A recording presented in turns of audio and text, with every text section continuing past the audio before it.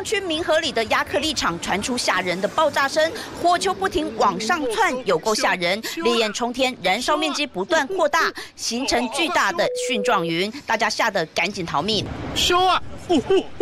哦哦哦！快修啊！由于里面存放甲苯跟甲醇等易燃物质，助长火势。空拍画面看得出来，整座工厂全面燃烧。消防局一共出动四十一车八十六人前往抢救。抵达时，由于火势实在太大，出动消防机器人协助灭火。事发在十八号早上八点四十四分，附近工厂的监视器录下惊悚爆炸瞬间。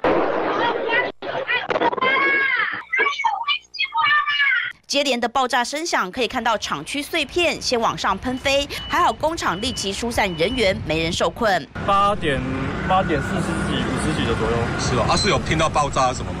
有啊，因为连我家附近玻璃都在震啊。它就爆炸两圈，然后就开始燃烧了。它从后面，它从后面那边的桶子先爆，爆完再过来。大火从八点四十四分烧到下午四点多，还没熄灭。据了解，厂商有申报甲苯及甲醇一百三十三万公升，过氧化物有一点六公吨，才会烧这么久。火势变小的部分，我们再弄泡沫的部分来来做火势压制。然后过氧化物的部分遇水的话，会有爆炸的危险。但是它其实，在燃烧过程中已慢慢的消失了。环保局人员也在场监测空气，表示有闻到臭味，但对民众没有明显的影响。认定工厂违反空污法跟水污染防治法，将予以告发。这把火同时也把厂区内几十辆的机机车全部烧毁。至于火灾原因还有损失，只能等这些化学原物料烧光之后，才能进一步厘清。东森新闻黄崇群、洪宝清、寸佩在台南的采访报道。